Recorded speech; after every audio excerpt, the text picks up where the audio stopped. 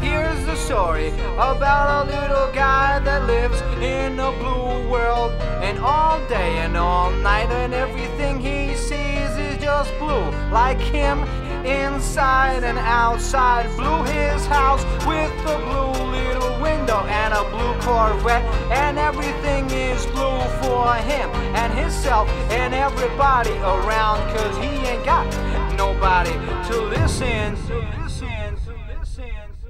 I'm blue, I've been deed, I've been died, I've been